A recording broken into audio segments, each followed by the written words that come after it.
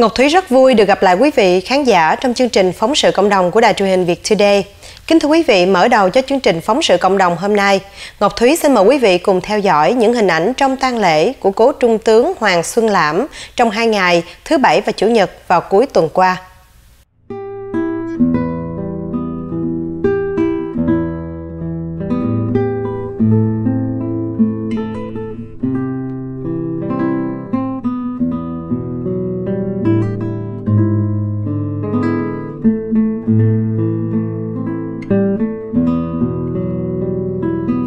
Vào lúc 10 giờ sáng thứ Bảy 24 tháng 5 năm 2017 vừa qua, đông đảo bạn bè thân hữu, gia đình, thân bằng quyến thuộc cùng rất đông các cựu chiến binh quân lực Việt Nam Cộng Hòa, đủ mọi binh chủng, đại diện các hội đoàn và giới truyền thông báo chí đã đến tham dự lễ phủ cờ cũng như chào tiễn biệt cựu trung tướng Hoàng Xuân Lãm về nơi an nghỉ cuối cùng.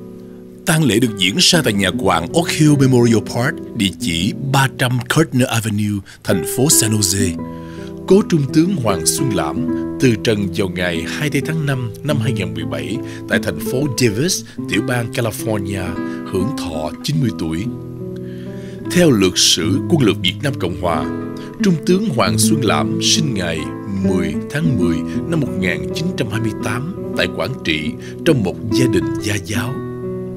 Ông khởi nghiệp là một giáo chức và bắt đầu con đường binh nghiệp tại trường Võ bị Liên quân Đà Lạt, khóa 3 Trần Hưng Đạo vào năm 1950. Sau đó, ông theo học thiết giáp tại Trung tâm huấn nghệ thiết giáp Diễn Đông của quân đội Pháp tại Cap Saint-Jacques, tức Vũng Tàu.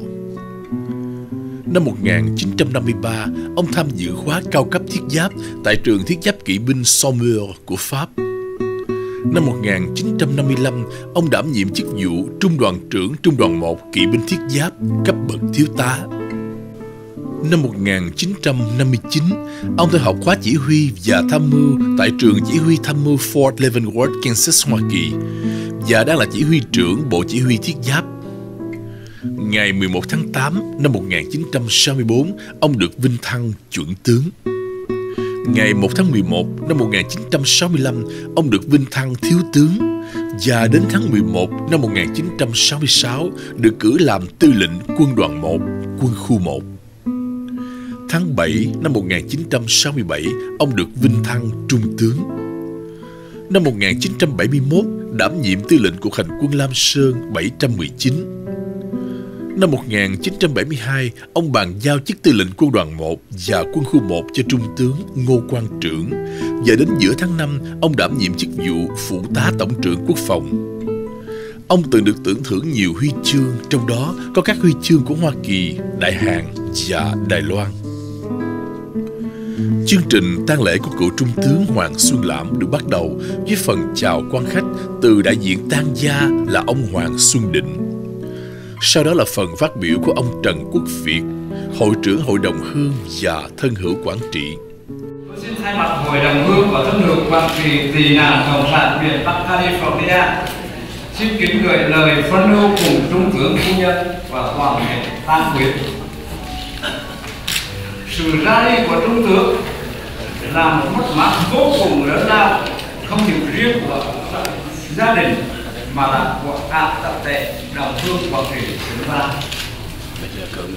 trung tướng ra đi để lại một sự tiếc thương vô vàn về chúng ta sinh di từ biệt là một phúc duy của trời, nhưng nỗi ngầm mùi thương xót cho người thân thiết còn lại không dễ dàng gì mà quên ngay nỗi niềm ấy, biết lấy lời nào nói ra đây cho cảm cho cổ? Viện viện trung tướng có nghĩa là kể từ nay không còn thấy hình dáng trung tướng cùng những lời chia sẻ, chân tình thân thương đối với đồng hương vào những dịp đầu năm nhân ngày họp mặt xuân niên tiếc thương thì vô vàn. Nói sao cho hết. Lần nữa, tôi xin thay mặt toàn thể đồng hương quảng trị thành kính phân ưu cùng trung tướng phu nhân và tác quyền nguyện cầu hương minh trung tướng sớm siêu sinh tịnh độ và trung tướng đi từng hàng quân một để hỏi thăm những người chiến sĩ của hắc báo và khi đến một cái uh, vị trung đội trưởng thì trung tướng hỏi rằng đứa mô đứa mô lấy súng này đứa mô lấy súng nỉ có nghĩa là đứa nào lấy súng này. Thì à, ông trung đội trưởng đó chỉ ngay một à, người hạ sĩ nhất người đã có công khám phá và lấy khẩu súng đầu tiên. Và sau đó thì trung tướng có đến và hỏi, sao? Khỏe không? Mi khỏe không? Rồi ông nói là, trung tướng là chi tôi? Tôi là chi trung tướng. Hồi xưa là tôi là để trừ trâu cho cho nhà trung tướng đó. Chưa là tôi hạc báo đây này. Đó đó là lời trung tướng nói. Và trung tướng đã ôm người lính đó, rất là thấm thiết và được dựa những tràng pháo tay của anh em hạc báo. Tiếp theo, các đại diện của hội đoàn cũng đã có lời phát biểu phân ưu cùng gia đình, cũng như gửi lời chào tiễn biệt đến Trung tướng Hoàng Xuân Lãm, một trong những vị tướng xuất sắc và được kính nể của quân lực Việt Nam Cộng Hòa. Là một tướng lành có rất nhiều cống hiến cho đất nước quê hương như vậy, anh quả là một vinh dự, một niềm tự hào cho tất cả chúng ta. Hôm nay đây, nơi quê người Việt xứ, tất cả bà con, chúng tôi quy tụ về đây để cùng chị và các cháu. Chúng ta nhất tâm cầu nguyện cho anh.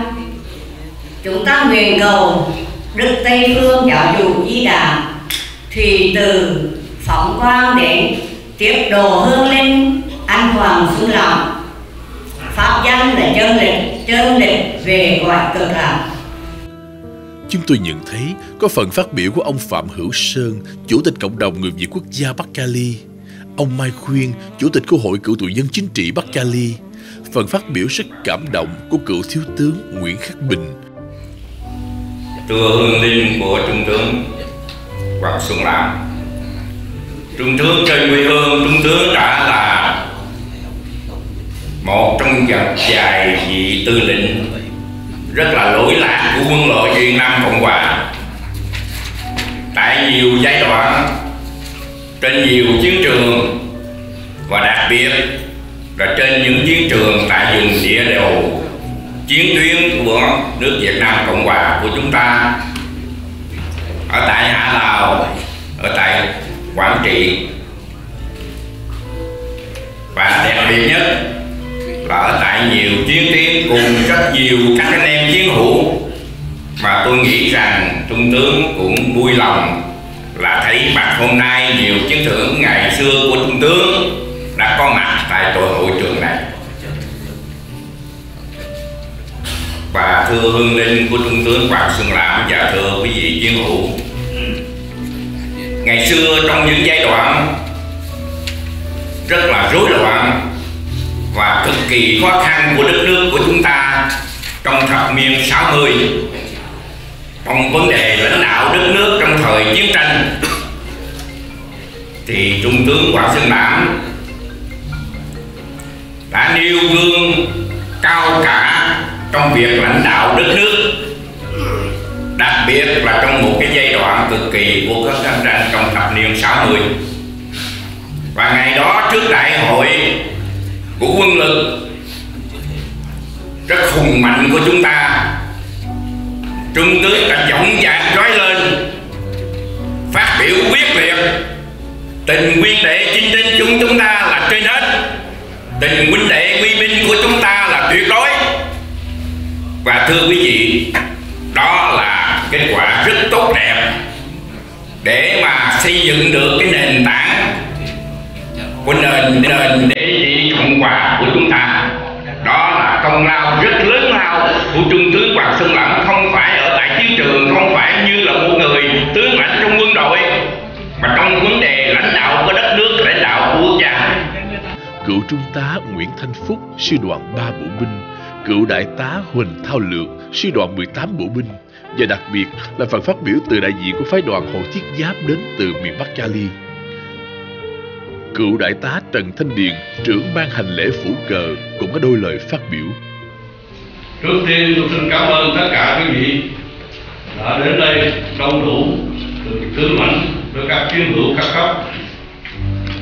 Tôi cũng xin thành kính chia buồn cùng trung tướng phu nhân và đại tam quý đây là một cái sự mất mát lớn lao mà trung tướng đã ra đi.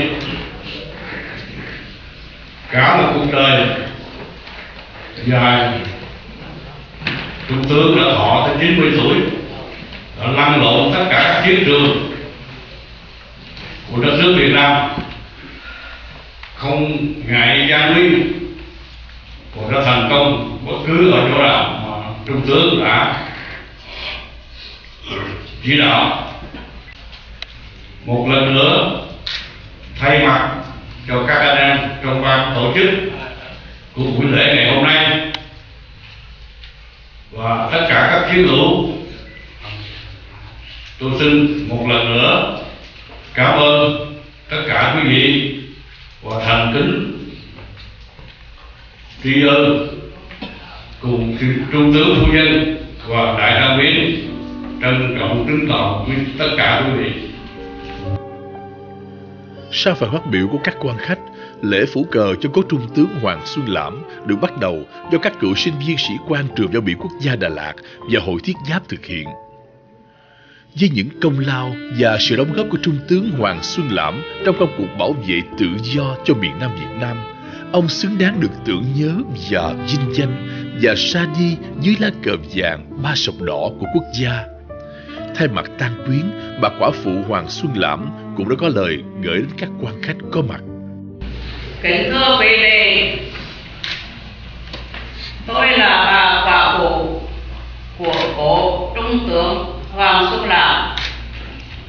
Tôi xin cảm tạ quý vị đại diện của các tôn giáo, các bậc trưởng bối, các tướng lãnh và phu nhân, các hội đoàn, các anh em truyền thông truyền hình và tất cả các binh chủng trong quân lực Việt Nam Cộng Hòa cùng bà con, họ hàng và bạn bè xa gần đến tham dự tang lễ và chia buồn cùng gia đình chúng tôi ngày hôm nay. Chúng tôi rất cảm kích khi thấy quý vị không ngại đường xa bỏ thì giờ quý bảo đến đây để tiễn đưa lần cuối linh cữu của chồng tôi. Trong số quý vị hiện diện hôm nay, có rất nhiều anh em quân nhân. Một lần cùng chồng tôi sâu pha chiến trận khi còn ở Việt Nam.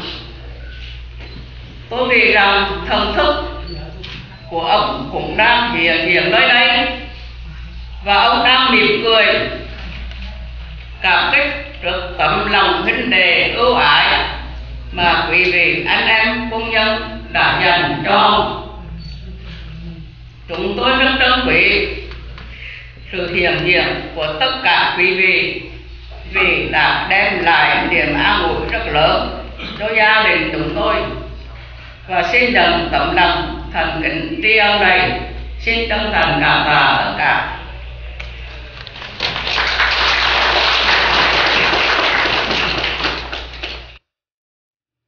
Được biết, lễ xếp cờ được diễn ra vào lúc 10 giờ 30 phút sáng ngày hôm sau, Chủ nhật 21 tháng 5. Cựu đại tá Trần Thanh Điền đã trang trọng trao lại lá cờ vàng ba sọc đỏ cho bà quả phụ và gia đình.